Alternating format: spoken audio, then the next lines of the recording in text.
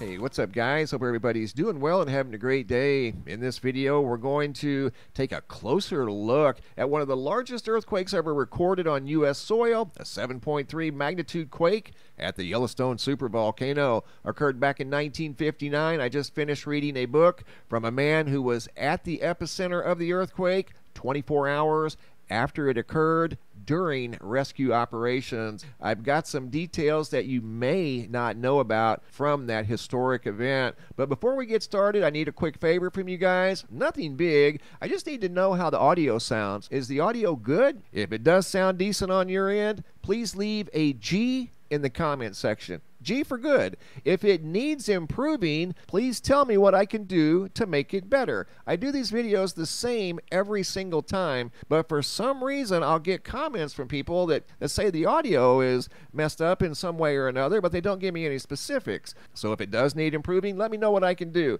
But if it's good, leave me a G. That's important too because I need to know if the audio is decent. And if it does need fixed, I want to make it better. But I do these the same every single time. I never adjust adjust the audio in any way. We're going to go up to Canada now, where back on June 29th, there was a, a record high temperature of 121 degrees in Lytton, British Columbia. There was also another temperature recorded in Hay River, Canada, which is in the Northwestern Territory, way up here near the 60 degree. In fact, it's just above the 60 degree latitude. Look at that. 122 degrees. This was sent in by Tanya. She said her outdoor thermometer showed a staggering 50 degrees Celsius, which equates to 122 degrees Fahrenheit. Again, 3 p.m., June 29th of 2021, and that would be up at Hay River, which is near the 60 degree north latitude. I don't know how that was even possible to get that hot that close to the Arctic Circle. That is absolutely incredible. So I know there were more than likely more places, many more places across Canada that just absolutely crushed records by many degrees in some cases.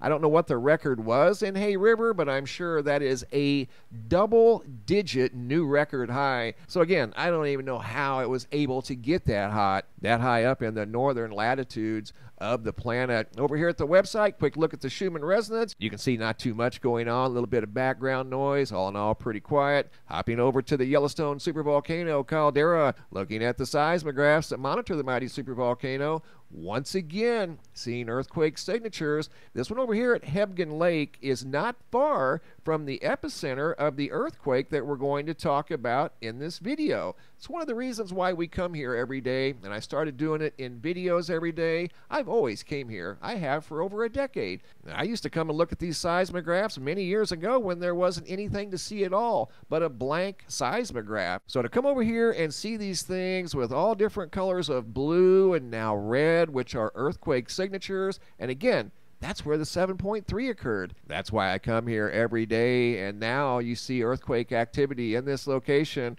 where there was one of the largest earthquakes that ever occurred in the United States. It occurred right there.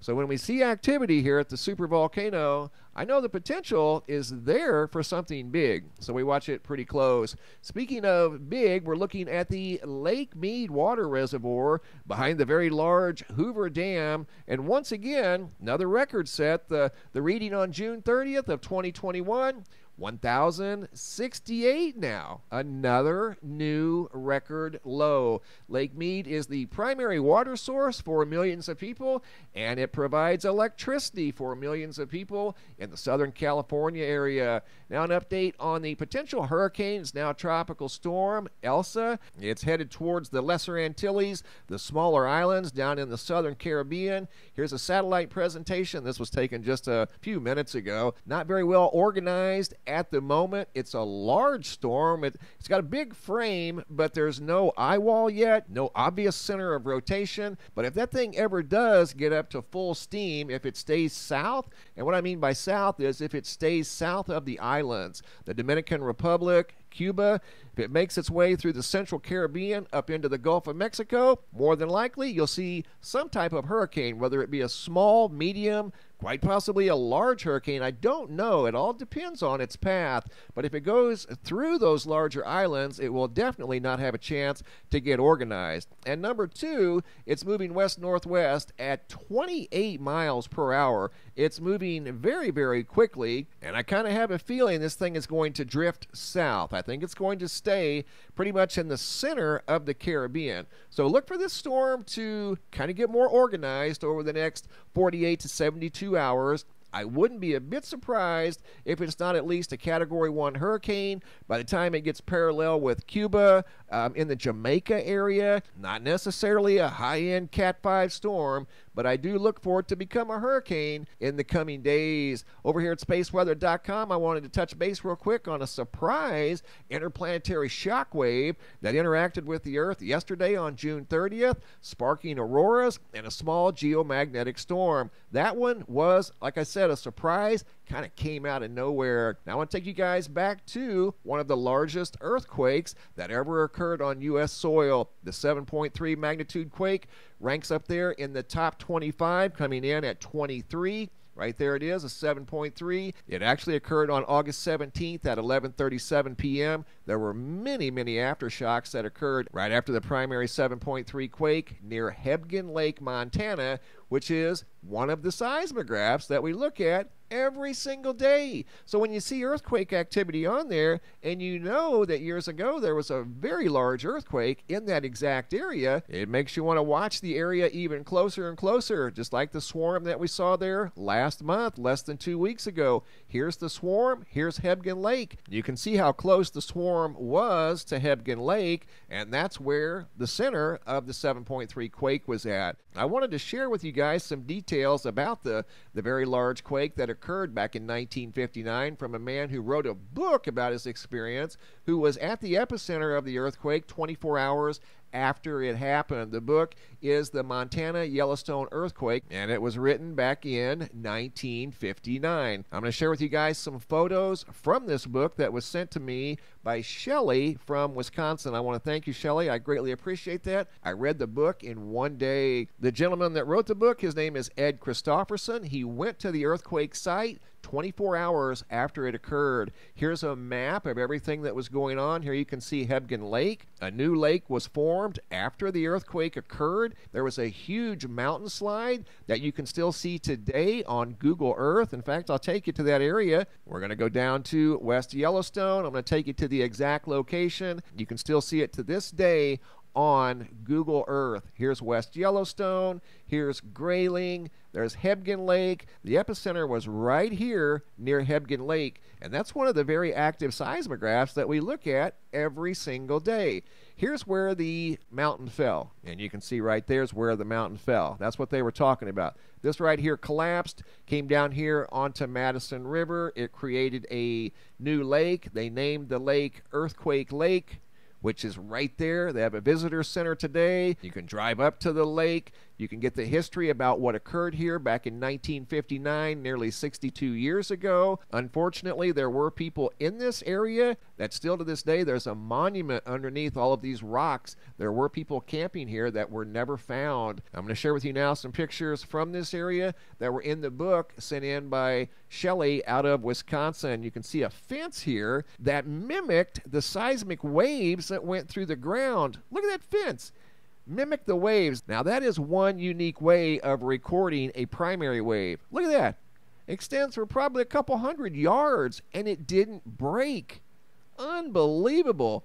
And that was near the epicenter of the earthquake. Here's a photo of a car that got twisted around a tree. Many trees came down that mountainside, which is right here. Many trees. They said that the, the winds in that area after the earthquake occurred and the rock slide took off, there were winds in excess of 170 miles per hour hurricane force winds. Here you can see a car that went airborne, was wrapped around a tree. Just an unbelievable scene. This man was there right after this earthquake occurred.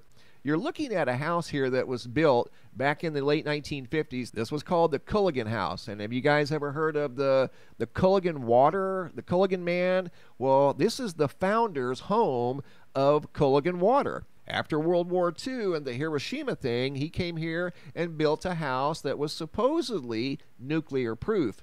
But one thing it wasn't prepared for was an earthquake. It did not survive the 7.3 magnitude earthquake. Now, once again, this home, this large bunker, belonged to the man that started Culligan Water. Here you see a house that dropped down into Hebgen Lake. The house obviously used to be way up here. The person that lived there, Grace Miller, used to rent out small boats and kayaks to people to use at Hebgen Lake. And her house, intact, fell right into the lake. In fact, here's a color photo of that same location at Wikipedia. There it is in the book. This was taken on site back in 1959. All of these photos, with the exception of this one, are from the book. This one here looks like to me it was just transferred over to a color format. You're looking at a campground not far from the big rock slide that came down the mountain. There were, unfortunately, people here under those rocks at that campsite. Right after the earthquake occurred, those large boulders came down the mountain.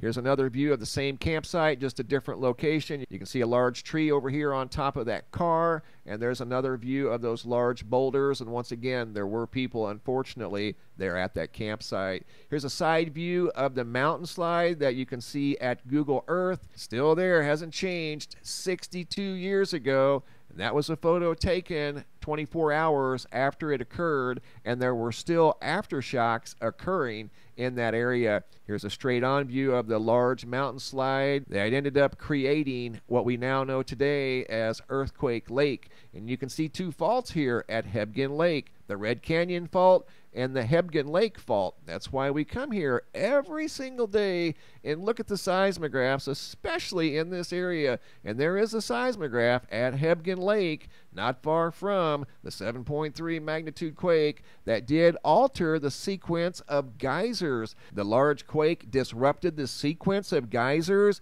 actually created 160 new geysers after the quake. This is a building up in Virginia City, about 60 miles away from the large earthquake, and you can see the damage that occurred to a building 60 miles away. Here's a drawing of some people that were trapped on the other side of the lake. They made this distress signal out of bags of white flour. Okay, SOS, so it would be visible from the sky. They were trapped on the other side of the new lake that was formed and needed to be rescued. And it did work. Here's a photo of people being airlifted by airplane to West Yellowstone Airport. Gentlemen here being transported by car. They gathered up all the station wagons that they could. They made up a makeshift hospital at the West Yellowstone Airport hangar. And that photo was taken within 24 hours of the very large 7.3 magnitude earthquake that once again occurred right over here